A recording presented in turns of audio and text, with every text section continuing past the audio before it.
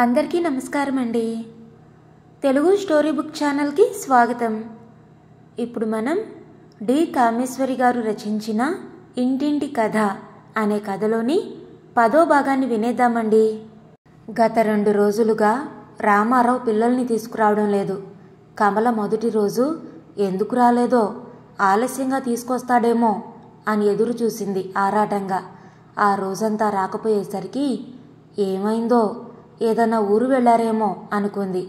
పిల్లలిద్దరూ కమల దగ్గర బాగా మాలిమయ్యారు ఈ నెల రోజులుగా. కమలకి మిగతా పిల్లల కంటే వీళ్ళిద్దరితో బాగా చేరికయిందేమో. వాళ్ళు రాకపోతే ఆ రోజంతా తోచలేదు. పాపం రామారావు ఏం అవస్థ పడుతున్నాడో వాళ్ళతో. ఎందుకు రాలేదు అని పదిసార్లు అనుకుంది ఆ మర్నాడు రాకపోవడంతో సాయంత్రం వరకు ఎలాగో ఆరాటం అణుచుకొని ఆఖరికి ఇంకాగలేక ఇంటికి వెళ్ళే ముందు ఒకసారి అతని ఇంటికి వెళ్ళి సంగతేమిటో చూసి రావాలని నిర్ణయించుకుంది. ఊరికెళితే చప్పా పెట్టకుండా వెళతాడా? ఒంట్లో బాగలేదేమో అని ఆదుర్దాపడింది ఆమె అనుకున్నట్టే కమల వెళ్ళేసరికి వీధి వరండాలో పాప ఆడుకుంటున్నదల్లా. ఆంటీ అని ఒక్క పరుగుతో వచ్చి కమలని వాటేసుకుంది సంబరంగా. రెండు రోజులకే వాచిపోయినట్టు. కమల పాపనెత్తుకొని రెండు రోజుల నుంచి రావడం లేదేం కరుణ అంది లోపలికి నడుస్తూ. డాడీకి జ్వరం అంది కరుణ వచ్చిరాని మాటలతో. అయ్యో అలాగా అంటూ కమల గబగబా లోపలికి వెళ్ళింది. రామారావు కమల గొంతు గుర్తుపట్టి లేవాలని ప్రయత్నించాడు. అతని కళ్ళు చింతనిప్పుల్లా ఉన్నాయి. లేవకండి లేవకండి. జ్వరమా? ఎందుకు రాలేదా? అని రెండు రోజులుగా ఎంతగానో అనుకున్నాను. కొంచెం ఎవరి చేతన్నా కబురు పెట్టకపోయారా? వచ్చి పిల్లల్ని తీసుకెళ్ళేదాన్ని? అంది గబగబా. రామారావు శుష్కహాసం చేస్తూ మంచం మీద వాలిపోయి ఏదో మామూలు జ్వరం ఒక రోజులో పోతుందనుకున్నాను. నిన్న ఇవాళ ఇంకా ఎక్కువైంది. నీరసంగా అంటూ కళ్ళు మూసుకున్నాడు. మాట్లాడే ఓపిక లేక రెండు రోజులకే పీక్కుపోయినా అతని మొహం చూసి చాలా జ్వరం ఉందని గుర్తించింది కమల. ఇల్లంతా అడవిలా విడిచిన గుడ్డలు బొమ్మలు కాగితాలు బ్రెడ్ ముక్కలు పడి ఉన్నాయి. బాబు ఒకటికి వెళితే తుడిచేవాళ్ళు కూడా లేరు. బాబు పక్క బట్టలు కింద దొర్లుతున్నాయి. పాపం జ్వరంతో ఇద్దరు చిన్నపిల్లలతో ఎలా మేనేజ్ చేశాడో రెండు రోజులుగా. అతని దయనీయమైన స్థితి చూసేసరికి కమల గుండె తరుక్కుపోయింది. బాబు పక్కన మంచంలో నిద్రపోతున్నాడు. కూర్చోండి. మీకు అనవసరంగా శ్రమిచ్చాను పిల్లల్ని దించి రమ్మందామనుకున్నాను పక్క వాళ్ళ అబ్బాయిని కానీ సాయంత్రం మళ్ళీ తీసుకురావడానికి ఆ అబ్బాయి ఇంట్లో ఉండడు. కమల నొచ్చుకుంటూ మీకు ఇలా ఉందని తెలిస్తే నేనే దింపి వెళ్ళేదాన్ని కదా? ఇది బాగలేదు. మీరు ఇలా చెప్పకపోవడం. పిల్లలతో ఎంత అవస్థపడ్డారో పాపం. అడక్కండి నా అవస్థలు. పక్కింటి వాళ్ళు పాపం తీసుకెళ్ళి అన్నం పెడుతున్నారు. ఆదెమ్మ ఇంత కాఫీ కాచి ఫ్లాస్క్లో పోసిపోయింది నాకు. పాపం పాప ఏదో ఆడుకుంటుంది కానీ బాబు ఎందుకో తెగేడుస్తున్నాడు ఇవాళైతే నాకు బొత్తిగా లేచే ఓపిక లేకపోయింది. అక్కడికి పాపం పక్క వాళ్ళ అమ్మాయి బాబుని కాసేపు ఆడించింది. ఎవరు ఎంతసేపు చూస్తారు? నాకు తప్పదు కదా ఎవరికి తప్పినా. ఏనాడో ఏదో పాపం చేశాను. అతని గొంతు రుద్ధమైంది. కమలకి చప్పున కళ్ళల్లో నీరు తిరిగింది. ఊరుకోండి. మీకు నయమయ్యే వరకు పిల్లల్ని నేను చూసుకుంటానులేండి. రాత్రి మా ఇంటికి తీసుకెళ్తాను. మీరేం విచారించకండి అంది. అతను ఆశ్చర్యంగా చూశాడు. ప్రతిఘటించడానికి కూడా ఓపిక లేక కళ్ళు మూసుకుండిపోయాడు. తర్వాత కమల చొరవ తీసుకుని ఇంట్లో చిందరవందరగా పడి ఉన్న వస్తువులన్నీ సర్దింది. రామారావుకి టెంపరేచర్ చూసింది. నోటి రెండు జ్వరం. కాఫీతో క్రోసిన్ మాత్ర ఒకటిచ్చింది. బలవంతాన రెండు బ్రెడ్ ముక్కలు కాల్చిచ్చి తినిపించింది. బాబు లేస్తే పాలు పట్టి పిల్లలిద్దరినీ తయారు చేసి రాత్రికి బాబు బాబుకి కావలసిన వస్తువులన్నీ బ్యాగులో సర్దింది. పాపకి బాబుకి రెండు జతల బట్టలు తీసుకుంది. రామారావుకి రాత్రి కోసం హార్లిక్స్ కలిపి ఫ్లాస్కులో పోసింది. కమల ఇంట్లో తిరుగుతూ పనిచేస్తూ ఉంటే రామారావుకి కళ్ళు చెమ్మగిల్లాయి అయ్యో మీ చేత చేయిస్తున్నాను. మీకెలా థ్యాంక్స్ చెప్పను? నొచ్చుకుంటూ అన్నాడు. కష్టంలో తోటి మనిషికి కాస్త సహాయం చేయకపోతే ఇంక మనిషి జన్మ ఎందుకు? ఈ స్థితిలో మీరుంటే నేనే కాదు ఎవరన్నా చేస్తారు అంటూ కమల అభిమానంగా అతన్ని మందలించింది. రేపు పది గంటలకు వచ్చి చూస్తానని జ్వరం తగ్గే వరకు పిల్లల బాధ్యత తనదే అని చెప్పి పిల్లల్ని తీసుకుని రిక్షా ఎక్కి ఇంటికి చేరింది. ఇంట్లో అంతా ఆశ్చర్యంగా చూసి ప్రశ్నలు కురిపించారు. కమల సావకాశంగా ముందు నుంచి అంతా చెప్పింది. అయ్యో పాపం ఇంత పసిపిల్లలకి తల్లిలేని వారయ్యారా అని సానుభూతిగా మాట్లాడింది కాంతమ్మ. అంతలోనే నువ్వొక్కరితివే వెళ్ళావుటే అతనింటికి? ఒక్కడే ఉంటున్నాడు ఇంట్లో చూసిన వాళ్ళు ఏమనుకుంటారే నీ సాహసం నువ్వు? కాంతమ్మ మందలింపుగా అంది. ఊరుకోమ్మా పాపం. అతనంత ఇబ్బందిలో ఉంటే చూస్తూ ఎలా ఊరుకోమన్నావు? మంచి పని చేశావక్కయ్యా. పిల్లల్ని తీసుకొచ్చి మాలతంది. పిల్లల్ని ముద్దులాడుతూ తల్లి మాటలకి కమల నొచ్చుకొని మొహం ముడుచుకుంది. అక్కయ్య ఎన్నాళ్ళకి ఓ మంచి పని చేసింది. తనంతట తాను ధైర్యంగా అక్కయ్య ఒంటరిగా బస్సులో వెళ్ళి రావడం ఉద్యోగం చేయడం అవన్నీ ఒక ఎత్తు. ధైర్యంగా మగాళ్ళతో మాట్లాడే స్థాయికి ఎదిగిందంటే అభినందించాల్సింది పోయి తిడతావేమిటమ్మా? తప్పే ఉంది. అతనింటికి వెళితే అంత మాత్రానికే పోయే పరువు ఉన్నా ఒకటే లేకపోయినా ఒకటే. వసంత కస్సుమంది. ఏమో తల్లి మీకే ఆడపిల్లలు.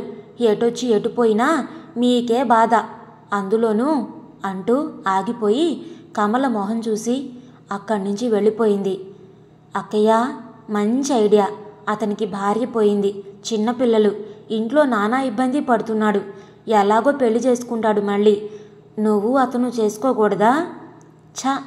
ఏమిటా మతిలేని మాటలు? నాకు పెళ్ళేమిటి? కమల కసిరింది మొహం ఎర్రబరుచుకొని. మతి లేకపోవడానికి ఏముంది? ఏ? నీకు రెండో పెళ్ళైతే అతనికి రెండో పెళ్ళి కాదు. నీకేం పిల్లలు ఉన్నారా ఏమన్నానా? అతనికేం కర్మ? రెండో పెళ్ళిదాన్ని చేసుకోవడానికి పెళ్ళాం పోయినా చిన్నవాడు మంచి ఉద్యోగం చేస్తున్నాడు. కన్నెపిల్లలే దొరుకుతారు అంది కమల నిరాసక్తంగా. అదుగో మన ఆడవాళ్ళమే ఇలా మాట్లాడి మనల్ని మనమే అవమానపరుచుకుంటాం. నీకు రెండో పెళ్ళైతే పెళ్ళికి పనికిరావు. అతనికి రెండో పెళ్ళైనా కన్నెపిల్ల కావాలా? ఏమిటా ఎక్కువ తక్కువలు? వసంత వాదనికి దిగింది. అవునక్కయ్యా వసంత అన్నది నిజమే. అతనికి ఆడతోడు కావాలి. నీకు ఓ ఇల్లు భర్త సాహచర్యం కావాలి. ఇద్దరికీ ఇష్టమైతే తప్పే ఉంది. ఎక్కువ మాట్లాడిన మాలతి కూడా వసంత ఆలోచన నచ్చంది. కమల మొహం సిగ్గుతో ఎర్రబడింది. కాసేపటికి సర్దుకొని బాగుంది అన్నీ మీరే అనేస్తున్నారు. అతనికేం ఉద్దేశాలున్నాయో? ఏదో రెండు రోజులు పిల్లల్ని చూశానని పెళ్ళాడమని అడగమంటారేంటి? హాస్యంగా అన్నట్టంది. బాబుని జోకొడుతూ. అప్పటికి ఇంకేం అనకుండా ఊరుకున్నా వసంత మనసులో ఏదో ఆలోచన తట్టింది. నారాయణమూర్తి గారు హఠాత్తుగా గుండె నొప్పొచ్చి మళ్ళీ స్పృహలోకి రాకుండానే పోయారు. ఆయనకున్న డబ్బు పలుకుబడి ఏవీ ఆయన్ని బ్రతికించలేకపోయాయి. ప్రసాద్ ఆఫీసులో ఉండగా ఫోన్ వచ్చి ఉన్నపాటున ఇంటికెళ్ళాడు. అప్పటికే ఆయన వళ్ళంతా చెమటలు పట్టేసి బాధతో లొంగ చుట్టుకుపోతున్నారు శరీరం నీలరంగులోకి మారుతోంది. ప్రసాద్ క్షణం ఆలస్యం చేయకుండా చేతుల మీద ఎత్తుకుని ఆసుపత్రికి తీసుకెళుతూ ఉండగానే ఆయన స్పృహ కోల్పోయారు. పెద్ద పెద్ద డాక్టర్లంతా గంట రెండు గంటలు చేయవలసిన ప్రయత్నాలన్నీ చేసినా ఆయన్ని బ్రతికించలేకపోయారు. ఆయన మరణంతో లత విరిగిన మానులా అయిపోయింది. ప్రసాద్ వేళ్ళతో సహా కూలిన వృక్షంలా అయిపోయాడు. ఇంటికి పెద్ద దిక్కు. లతకి తనకి వారధిలా ఉండేవారు. ఆయనే లేకపోతే ఆ ఇంట్లో ఉండడం ఎంత గగనమైపోతుందో ప్రసాద్కి తెలుసు. కనుక ఆయన మరణంతో ప్రసాద్ కృంగిపోయాడు. లత దుఃఖం చెప్పనలవి కాదు. కాస్త జ్ఞానం వచ్చిన దగ్గర నుంచి తల్లి హితుడు స్నేహితుడు బంధువు అన్నీ తండ్రి అయి పెంచాడేమో. ఉన్న ఒక్కగానొక్క ఆత్మబంధువుని పోగొట్టుకున్న లత పసిపిల్లలా ఏడ్చింది. ఆమెను చూసి మొదటిసారిగా జాలిపడ్డాడు ప్రసాద్. తండ్రితో ఉన్న చేరిక తెలుసు కనుక ఆయన మరణం ఆమెను ఎంతగా దెబ్బతీసిందో ప్రసాద్కి అర్థమయ్యి సానుభూతిగా ఆమెని ఓదార్చాడు. పచ్చి మంచినీరు ముట్టకుండా విలపిస్తున్న ఆమెను చూసి ఆమెకి ఓ హృదయం ఉందన్న సంగతి అర్థమయ్యి సానుభూతి చూపి నేనున్నాను అని ధైర్యం చెప్పాడు. అనునయించాడు. ఆ పది రోజులు పెద్ద ఎత్తున కర్మలు చేశాడు. దానాలిచ్చాడు. సంతర్పణలు చేశాడు. ఆయన అంతస్తుకు తగినట్టు అన్నీ చేసి కొడుకులేని లోటు తీర్చాడు. పది రోజులు గడిచాక లాయర్ అందరి సమక్షంలో వీలునామా చదివి వినిపించాడు. ఆ వీలునామా ఇదివరలోనే నారాయణమూర్తి గారు రాసి ఉంచారు. చదవకముందే కూతురిక్కాక మరెవరికిస్తారు? అని అందరూ అనుకున్నదే. ఆయన యావదాస్తి ధన వస్తు వాహన చరాస్తి స్థిరాస్తి అన్నీ కూడా కూతురికే రాసిపోయారు. ప్రసాద్ మనసు చిన్నబోయింది. ఆయనకి కూతురి మనస్తత్వం తెలిసి తననెంత నీచంగా చూస్తుందో తెలిసి తనకంటూ ఏదీ ఇవ్వకుండా భార్య దయాధర్మం మీదే బతికేట్టు చేసినా ఆయన్ని క్షమించలేకపోయాడు. ఆస్తిస్తే కూతుర్ని లెక్క చేయడని భయపడి అలా రాశాడనుకున్నాడు. కొద్దిగా తను ప్రతి చిన్నదానికి ఆమె మీద ఆధారపడకుండా ఏదన్నా రాసి ఉంటే ఎంత బాగుండేది అని విచారించాడు. ఈ వీలునామాతో లత తన చెయ్యి నుంచి పూర్తిగా దాటిపోతుందని అతనికి తెలుసు. తెలిసి చేయగలిగింది ఏమీ లేదు కనుక నిట్టూర్చాడు. మామగారి మీద ఉన్న గురి గౌరవం తగ్గిపోయి ఏదో నిర్లిప్తత అసంతృప్తి చోటు చేసుకుంది అతనిలో. లతని వెనక నుంచి కాస్త అదుపులో పెట్టగలిగిన ఆయన లేకపోయాక లత రౌతులేని గుర్రంలా ఎలా ఎగిరిపడుతుందో ఆమెతో సవారీ ఎంత దుర్భరంగా ఉంటుందో ఊహించగలిగిన ప్రసాద్కి ముందెలా ఉన్నా భవిష్యత్తు చింతపట్టుకుంది తండ్రిపోయిన దుఃఖంతో ఒక నెల రోజులు నిర్లిప్తంగా ఉదాసీనంగా గడిపింది లత. అంత దుఃఖంలోనూ తండ్రి వీలునామా చదివాక తృప్తిగా నవ్వుకుంది. వీలునామా లాయర్ చదివి వినిపిస్తూ ఉంటే ప్రసాద్ మొహం ఎలా మాడిపోయిందో చూశాక ఏదో తృప్తి కలిగింది. హ ఇంకెక్కడికి వెళతాడు నా చేతిలో నుంచి? అనుకుంది గర్వంగా. తండ్రి పోయిన నెల రోజుల నుంచి తన అసలు నిజస్వరూపం తన ప్రతాపం చూపించడం ఆరంభించింది. నౌకర్లను హడలగొట్టేసింది. ప్రతి నయా పైసాకి లెక్కలు అడిగేది ఇంతింత వండారని దెబ్బలాడేది. ఇన్ని పాలెందుకు? ఇన్ని కూరలెందుకు? నా డబ్బంతా నాశనం చేస్తున్నారు అని తిట్టిపోసేది. ఏ చిన్న లోటుపాటు వచ్చినా ఏ పదార్థంలో కాస్త లోపం వచ్చినా మొహాన విసిరి కొట్టేది ప్రసాద్ కల్పించుకొని మందలించబోతే మీరూరుకోండి. వాళ్ళు నౌకర్లు. నా సొమ్ము పెడుతున్నాను. నా ఇష్టం అని దులపరించేది.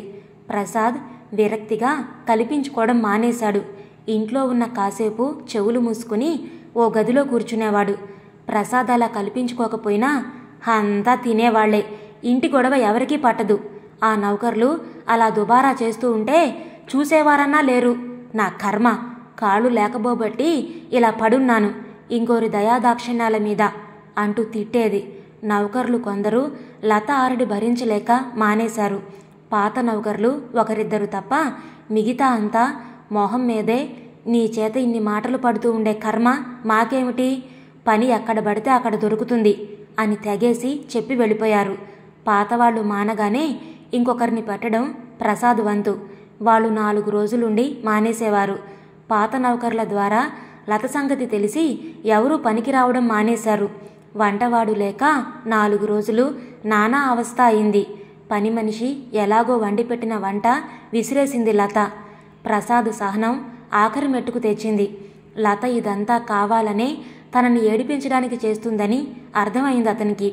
లత నేనంటే కట్టుకున్న మొగుణ్ణి గనక నీ ఆగడం సహిస్తున్నాను. నీ తిట్లు ఏ నౌకర్లు సహించరు. పనివాళ్ళు ఇంట్లో ఉండాలంటే సౌమ్యంగా చేయించుకోవాలి. డబ్బిచ్చినంత మాత్రాన తిడితే ఈ రోజుల్లో ఎవరూ పడరు. పడకపోతే పోతారు. లత విసురుగా అంది. పోతే అవస్థ పడేది నీవే. నన్నేదో సాధిద్దామనుకొని చేస్తున్నావు కానీ నాకు నౌకర్లు చాకర్లు అక్కర్లేకుండా నా పనులు నేను చేసుకోగలను. ముందు నుంచి అలానే పెరిగాను. ఆ వరి అన్నం తిని గడుపుకోగలను. అంచేత నన్నేదో సాధిద్దామనుకుంటే అవస్థ పడేది నీవు. ఈసారి నౌకర్లని తిడితే వాళ్ళు వెళ్ళిపోతే మరొకళ్ళు దొరకరు రారు నీ ఇష్టం తెగేసి చెప్పాడు. ఊరుకుంటుంటే లత మరీ రెచ్చిపోతుందని ప్రసాద్ ఈ మధ్య జవాబులు గట్టిగానే ఇస్తున్నాడు. ఏ? నాన్న పోయారు. ఇంటికి తమరే అధికారులు అనుకుంటున్నారా ఏమిటి? గట్టిగా దబాయిస్తున్నారు ఈ మధ్య. ఒకరోజు ప్రసాద్ ఏదో అంటే వ్యంగ్యంగా ఎత్తి పొడిచింది లత. హబ్బే ఇంటి యజమాని ఎలా అవుతాను? నువ్వు అవనివ్వవని నాకు తెలుసుగా. నీ బానిసని ఆస్తిపర్రాలువి హక్కుదారివి నువ్వుండగా నేనెలా అవుతాను? ప్రసాద్ అంతకంటే వ్యంగ్యంగా చురకంటించాడు. ఇంట్లో ప్రతి క్షణం ప్రతి చిన్న విషయానికి ఇద్దరి మధ్య ఘర్షణ తప్పడం లేదు. తండ్రి భయాన ఇదివరకు కాస్త గొంతు తగ్గించి మాట్లాడే లత ఇప్పుడు పూర్తి స్వేచ్ఛతో ప్రసాద్తో డి అంటే డి అని తలపడుతుంది. ప్రసాద్ ఇంటి పట్టునే ఉండడం మానుకున్నాడు. ఉదయం ఎనిమిదింటికి వెళ్ళి రాత్రి పది వరకు తిరిగి తిరిగి వస్తాడు. దానికి ఓ రాద్ధాంతం చేసి తనంటే నిర్లక్ష్యమని ప్రేమ లేదని తన డబ్బు తింటూ తననే లెక్క చేయడని రోజూ దెబ్బలాడేది. ఆఖరికి ప్రసాద్ ఆమె ఏమన్నా చెవిటివాడిలా జవాబు చెప్పకుండా మౌనంగా ఉండే సహనం అలవరుచుకున్నాడు. నోరిప్పని భర్తని ఎలా సాధించాలో తెలియక దారులు వెతికింది లత. ఆఖరికి ఓ దారి కనిపించింది లతకి. ప్రసాద్ ఆఫీసులో శాంతికి ఉద్యోగం ఇచ్చిన విషయం లతకి తెలిసింది. శాంతికి ఉద్యోగం ఇవ్వడం అప్పటినుంచి ప్రసాద్ బొత్తిగా ఇంటి పట్టున ఉండకపోవడం ఒకదానితో ఒకటి కలిపి ఆలోచించింది. అసూయ ద్వేషంతో రగిలిపోయింది. ఆఫీసులో ఏం జరిగేది? ఎప్పటికప్పుడు లతకి వార్తలందించే బండ్రోతు రంగయ్య లతకి నమ్మిన బంటు. అతని ద్వారా శాంతి అందచందాల గురించి విని అసూయ పడాల్సింది ఏమీ లేదని గ్రహించినా అతను శాంతికి ఉద్యోగం ఇవ్వడానికి పడిన శ్రమ చూపిన శ్రద్ధ తెలిసి ఆమె పట్ల అతనికి జాలి సానుభూతి అభిమానం ఉన్నాయని మిగతా అందరితో కంటే ఆమెతో దయగా అభిమానంగా మర్యాదగా ప్రవర్తిస్తాడని విని భర్తని సాధించే కారణం ఒకటి దొరికిందని సంతోషించింది. మీ ఆఫీసులో ఆర్డర్ టైపిస్ట్కి ఉద్యోగం ఇచ్చారుటగా? ఆఫీసు నుంచి రాగానే వ్యంగ్యంగా అడిగింది. ఎలా తెలిసింది చెప్మా అనుకుని ఆశ్చర్యపోయాడు. అయినా పైకి అది తెలియనీయకుండా అన్నాడు నిర్లిప్తంగా. రాత్రింబవళ్ళు ఆఫీస్కి వెళ్ళి ఎందుకు కూర్చుంటున్నారో అర్థమైంది. హేళనగా కసిగా అంది. లత ప్రసాద్ మొహం ఎర్రబడింది. వక్రబుద్ధి అంతకంటే ఎక్కువగా ఆలోచించదని నాకు తెలుసు. అనవసరంగా ఆ అమ్మాయి మీద నీ దృష్టి పన్నీయకు నన్నెన్ని మాటలన్నా సహిస్తాను. నిన్ను కట్టుకున్న పాపానికి. కానీ ఆ అమ్మాయిని ఇందులో కలపకు కఠినంగా అన్నాడు. ఆహా నన్ను కట్టుకున్న పాపానికి సహిస్తున్నారా? నా డబ్బు కోసం సహిస్తున్నారా? అదంటే అప్పుడే అంత ప్రేమ? ఒక్క మాట అంటే ఊరుకోనంటారు? ఎత్తి పొడిచింది హేళనగా. ప్రేమ అభిమానం అన్న పదాలకి నీకు అర్థం తెలుసా అసలు? అబ్బా ఈ నెల్లాళ్ళలో వాటి అర్థం తెలుసుకున్నారన్నమాట. విలాసంగా నవ్వింది. ప్రసాద్ తిరస్కారంగా ఏహ్యంగా చూశాడు. నీలాంటి దాంతో మాటలు పెంచను అన్నట్టు మౌనంగా ఊరుకున్నాడు. ఆ కోతి మొహం నాకంటే అందంగా అనిపించిందా మీకు? కవ్వించింది. కోతి మొహం అని తెలిసి ఇంకెందుకు ఈర్ష? ప్రసాద్ కూడా వ్యంగ్యంగా నవ్వాడు. మీ మగాళ్ళకు ఆడదైతే చాలుగా? మరో బాణం విసిరింది. నిన్ను పెళ్ళాడాక ఆడదాని మీద ఇచ్చ చచ్చిపోయింది. ఆ విషయంలో నువ్వు నిశ్చింతగా ఉండొచ్చు. కసిగా అన్నాడు. ఆ మాటలకి ఆ వ్యంగ్యానికి ఆ అవమానానికి లత మొహం ఎర్రబడిపోయింది. ఆ అవమానం తట్టుకోవడం కష్టమైపోయింది.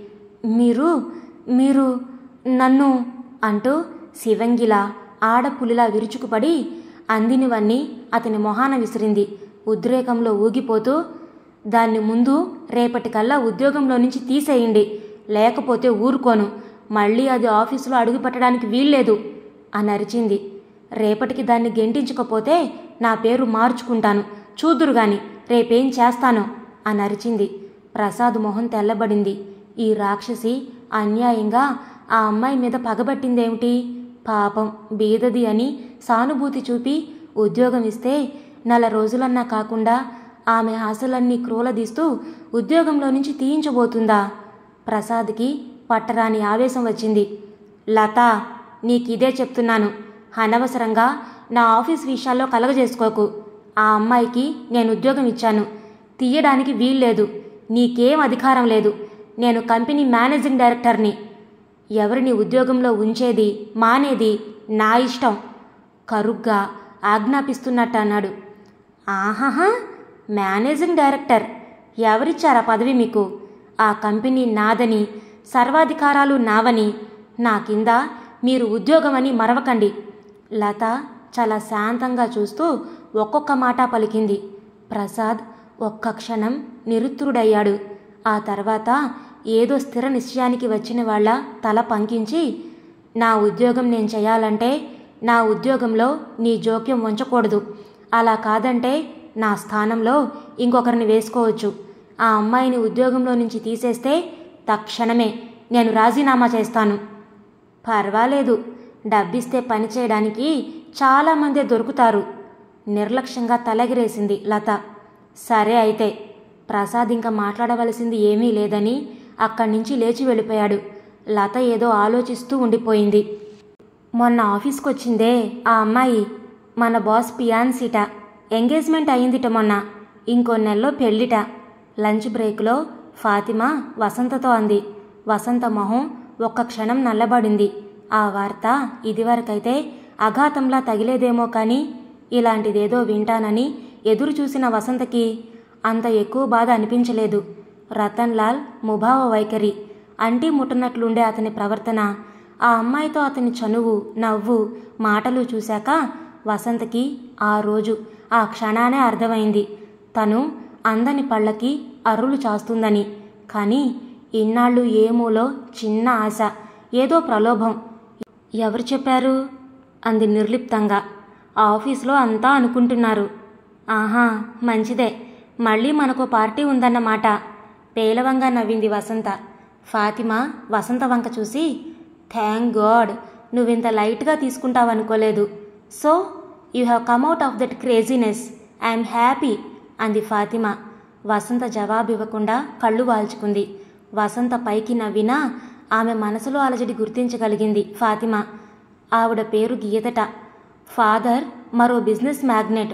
రెండేళ్ళుగా ఈవిడ ఏవో కోర్సులు చదవడానికి అమెరికా వెళ్ళి వచ్చిందట. పెళ్ళి ఇదివరకు అనుకున్నదేనట. ఇద్దరూ భలే కుదిరారు. అందం ఐశ్వర్యం. ఫాతిమా వసంత ముఖ కవళికలు గమనిస్తూ కావాలనే చెప్పింది. వసంత ఎంత ఫూలిష్గా ఆలోచించిందో బాగా తెలిస్తే తన తప్పు తెలిసి త్వరగా ఆ మైకంలో నుంచి మేల్కొంటుందని ఆమె ఉద్దేశం. వసంత వింది ఆ మాటలు. ఆమె మీద బాగానే పనిచేశాయి. హా అలాంటి అందగత్తె ఐశ్వర్యవంతురాలు ఉండగా వసంత మీద ఎందుకు కుతూహలం ఉంటుంది అతనికి? మగాడు పెళ్ళికెప్పుడు సమఉజ్జీలనే కోరుకుంటాడు. మహా అయితే కాస్త చంచల మనస్కుడైతే అంది వచ్చిన అమ్మాయిని ఊరికే పోనీయడం ఎందుకని అవకాశాన్ని వినియోగించుకొని వదిలేస్తాడు. రతన్ లాల్ చంచలుడు కాడు కనుక వసంత ఊబిలో దిగలేదు అంతే. ఈ పుస్తకాలు సినిమాలు ఆమె లాంటి బలహీన మనస్తత్వాల మీద బాగా పనిచేసి కళ్ళ ముందు అందమైన రంగుల కలలు పరుస్తాయి అంతే. కళల్లో నుంచి మేల్కొన్నాక మిగిలేది రంగు వెలిసిన బొమ్మ. ఆ బొమ్మతో సంతృప్తి పడలేక ఆశించింది అందక నిరాశ నిస్పృహల మధ్య వేగిపోతున్నారు.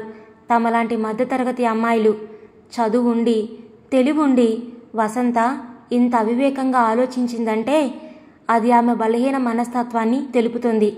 ఇప్పటికైనా ఈ సంఘటనతో కళ్ళు తెరిస్తే నయమే ఫాతిమా అనుకుంది. వసంత నిట్టూర్చి థ్యాంక్స్ ఫాతిమా అంది. ఆ కృతజ్ఞతలు ఎందుకో ఫాతిమకి అర్థమై సంతృప్తిగా నిట్టూర్చింది. వెంకట్రావు గారు ముందు వసంతకి సంబంధాలు వెతకసాగారు. వసంత తనకేం వద్దన్నట్టు ఊరుకుంది. రెండు సంబంధాలు నచ్చి పెళ్ళి చూపులకి పిలిచారు. ఓ పెళ్ళి కొడుకు జూనియర్ ఇంజనీర్. పెళ్ళి చూపులకొచ్చి చూసుకున్నారు వసంతని. పెళ్ళి కొడుకు కాస్త పొట్టే రంగు అంత లేడు. చేసే ఇంజనీర్ ఉద్యోగానికి వెంకట్రావు గారిస్తామన్న పదివేల కట్నం లాంఛనాలు నచ్చక అతని అందానికి వసంత నచ్చక మరో సంబంధం కుదుర్చుకున్నారు. ఆ దెబ్బతో వసంత అహంకారం సగం తగ్గిపోయింది. మామూలు సంబంధం అంతంత మాత్రం ఉద్యోగం అందం లేని పెళ్ళి కొడుకు తనను నచ్చలేదని తిరస్కరించగానే వసంత తల కొట్టేసినట్లయింది. ఏడిశాడు కోతి మొహం వీడును. వీని నేను అసలు చేసుకునేదాన్నా? ఏదో మీరు చంపారని పెళ్ళి చూపులకు కూర్చున్నా గాని సమర్థించుకుంటూ దబాయించింది. కానీ మనసులో భవిష్యత్తు గురించి భయపడింది. తను వీడికే నచ్చకపోతే ఇంతకంటే మంచి సంబంధాల వాళ్ళకి నచ్చుతుందా? కోతి మొహమో ఏ మొహమో? నచ్చలేదని మొహాన్ చెప్పారుగా? ఇంకా ఎందుకా గర్వం? మనం రంభలా ఉన్నామనుకోగానే సరే అవతల వాళ్ళు అనుకోవాలి.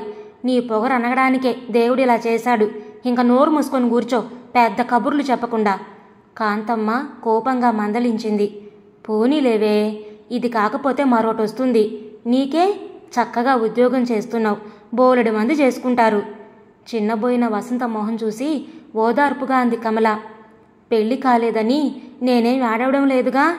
వెధవ వేషం. వాళ్ళెలా ఉన్నా పిల్ల అందం కావాలి చదువుకోవాలి. చిన్నబోయిన వసంత మొహం చూసి ఓదార్పుగా అంది కమల. ఏం చేస్తాం? మగ మహారాజుల వాళ్ళదే పైచెయ్యి ఏదో సంబంధం కుదిరి ఈ ఏడాది ఎలాగో ఇద్దరు పెళ్ళిళ్ళు అయిపోతే శని విరగడైపోతుందని హాయిగా ఉందువు గాన్లే. ఆడపిల్లలు అనగానే ఎప్పుడు ఇంట్లో నుంచి తరుగుదామా అని చూస్తారు. వసంత తిరస్కారంగా అంది.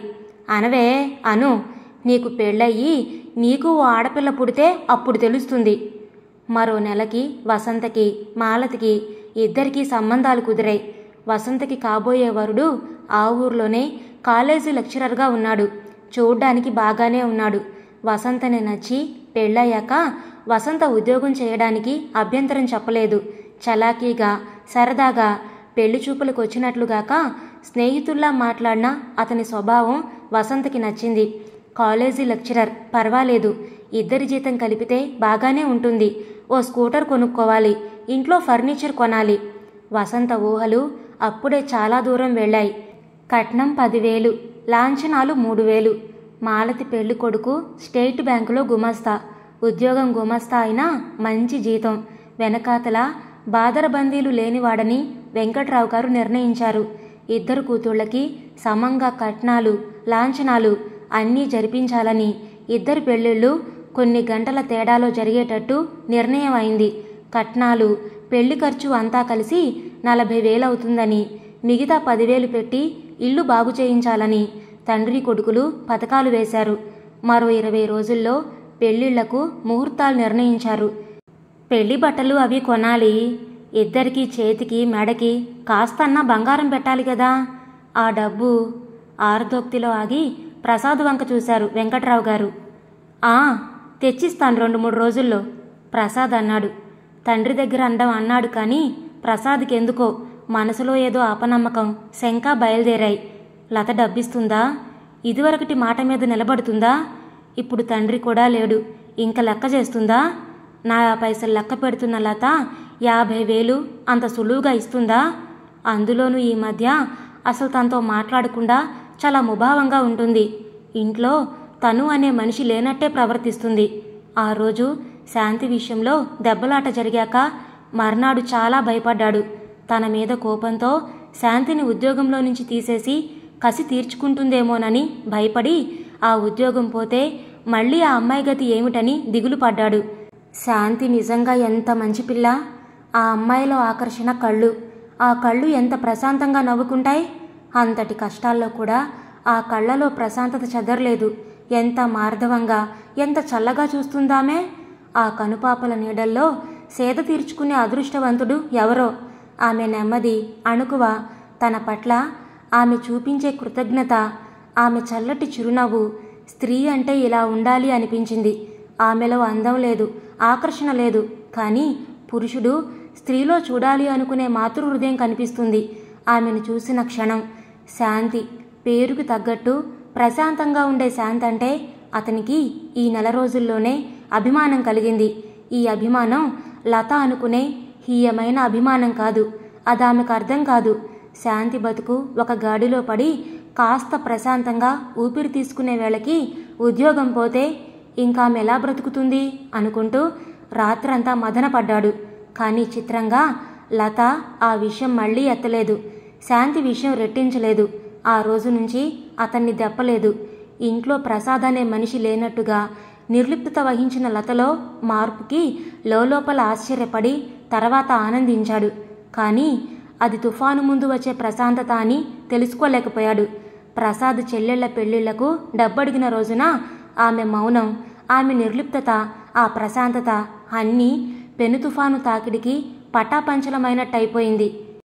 ఏం డబ్బు ఏం తెలియనట్టు నిర్లక్ష్యంగా అంది పుస్తకం చదువుతూ. ప్రసాద్కి ఒళ్ళు మండినా సౌమ్యంగా పని చేసుకుపోవాలని గ్రహించి అదే యాభై వేలు ఇదివరకు అడిగాను సంబంధాలు చూశారు పెళ్ళి ఇంకో ఇరవై రోజులుంది డబ్బు కావాలి అన్నాడు. మీ చెల్లెళ్ళ పెళ్ళవుతున్నందుకు సంతోషం కానీ మధ్యన డబ్బు నేనెందుకు ఇయ్యాలి? ఆశ్చర్యపడినట్టు అడిగింది లత నటన చాలించు. ఆ డబ్బు పెళ్ళిలో మీ నాన్నగారు నాకు ఇస్తానన్నది అది నా వాళ్ళ కోసం ఖర్చు పెట్టాలని నిర్ణయించుకున్నాను. ఈ పెళ్ళి వల్ల వాళ్ళకి కనీసం ఈ మాత్రం లాభం అన్నా దక్కాలి. కొడుగ్గా నా బాధ్యత తీర్చుకోవాలి. అనవసరంగా నన్ను వాగించకుండా ఇయ్యి.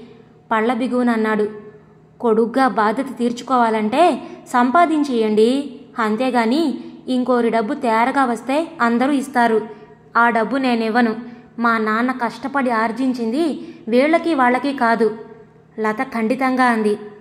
ప్రసాద్ సహనం హద్దులు దాటిపోయింది. ఆ క్షణాన లతని చూస్తుంటే అతనికి నిలువెల్లా ద్వేషం కలిగింది. రాక్షసిలా కనిపించింది. వికృతంగా పరమ రోతగా ఆమె మొహం చూడాలంటేనే జుగుప్స కలిగింది. కానీ అవతల తండ్రి ఆశ చూపాడు. మాటిచ్చాడు. ఈ డబ్బుందన్న భరోసాతో తాహతుకు మించి ప్రయత్నాలు చేశారు. ఇప్పుడు అంతా ఆభాసు పాలవుతుంది. తండ్రి తేరుకోలేనంతగా కృంగిపోతాడు. లాభం లేదు. లతతో వైరం లాభం లేదు. మంచిగా పని సాధించాలి. అయితే అప్పుడిస్తానని ఎందుకు మాటిచ్చావు? ఈలోగా మళ్ళీ ఎందుకు ఇలా మాట మార్చావు? నా మాట నా గౌరవం నీకు ముఖ్యం కాదా? రెట్టించాడు. మనుషులు మీరు మారలేదు. మనుషులే మారినప్పుడు మాట ఎంతసేపు మారడం? నేనేం మారాను?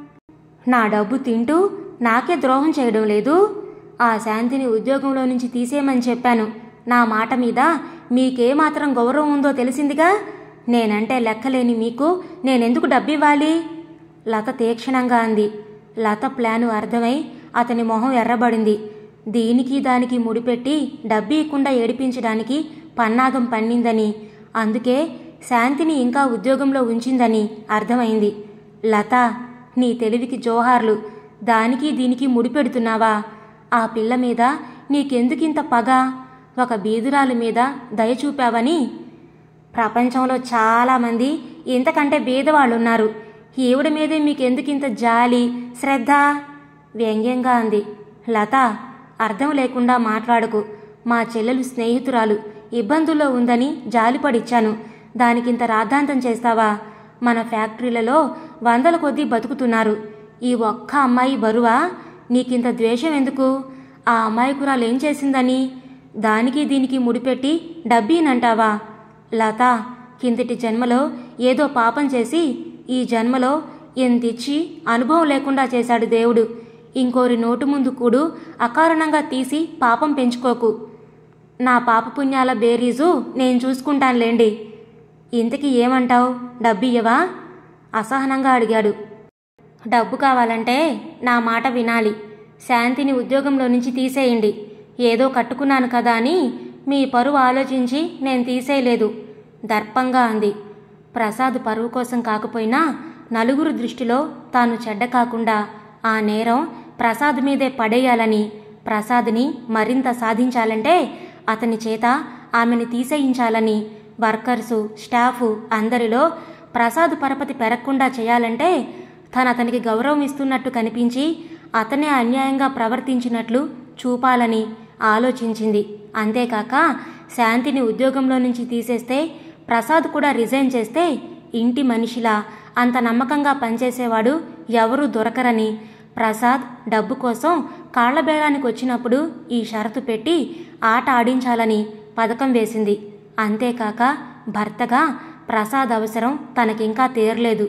దేనికోసం తండ్రి ఈ పెళ్ళి చేశాడో ఆ పని కాలేదు. పిల్లల కోసమన్నా భర్తగా భరించాలి. ఆ భర్తకి పరపతి ఉన్నట్టు లోకానికి కనిపించాలి. లేదంటే తండ్రి అన్నట్టు తనకే అవమానం. తను మంచిగా కనిపిస్తూ ప్రసాద్ని పావుగా వాడుకోవాలి. ప్రసాద్ ముఖంలో రక్తం ఇంకిపోయింది. ఏం చేయాలో తోచని కర్తవ్య మూడుడిలా ఉండిపోయాడు కాసేపు. లతతో ఇంకా లాభం లేదు. డబ్బు కావాలంటే ఆమె అన్నట్టు చేసి తీరాలి. శాంతి ఆమెకి తన మొహం ఎలా చూపడం? డబ్బు లేకపోతే తండ్రి మొహం ఎలా చూడడం? తన చెల్లెళ్ళు భవిష్యత్ ఎక్కువ శాంతి ఎక్కువ?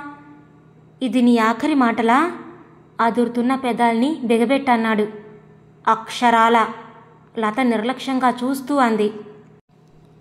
ఇంతటితో ఇంటింటి కథ అనే కథలోని పదో భాగం పూర్తయిందండి. మీకు నచ్చిందా? నచ్చితే లైక్ చేయండి షేర్ చేయండి. అలాగే మీ విలువైన అభిప్రాయాలను కామెంట్స్లో తప్పకుండా తెలియచేయండి. ఇలాంటి మరెన్నో మంచి మంచి కథలు వినడానికి కొత్త వాళ్ళు మన ఛానల్ని తప్పకుండా సబ్స్క్రైబ్ చేసుకోండి. పదకొండవ భాగంతో మళ్ళీ కలుద్దాం. అప్పటి వరకు ఉంటానండి.